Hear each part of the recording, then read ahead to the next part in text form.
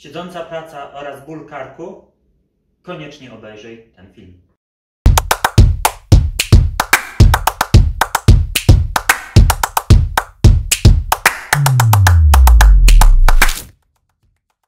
Cześć. Nazywam się Marcin Grześkowiak, jestem fizjoterapeutą z ponad 10-letnim doświadczeniem zawodowym. Na co dzień zajmuję się fizjoterapią ortopedyczną. Pomagam pacjentom z bólami pleców, szyi, stawów oraz mięśni.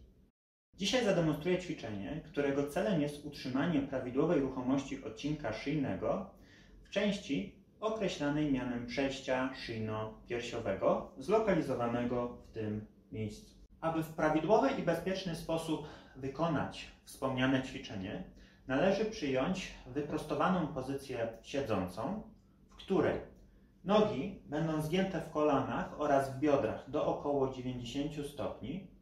Kręgosłup będzie wyprostowany w taki sposób, aby klatka piersiowa znajdowała się nieco bardziej do przodu względem twarzy.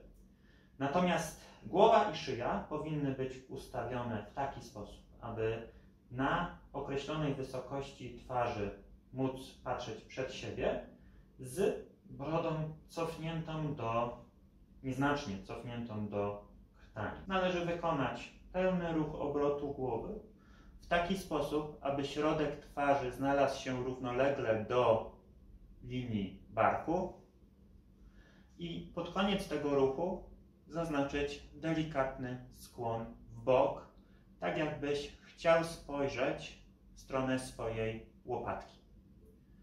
I powrót do pozycji wyjściowej. Jeżeli podobało Ci się to nagranie, zostaw kciuka w górze, zasubskrybuj mój kanał oraz czekaj na więcej fizjoporad.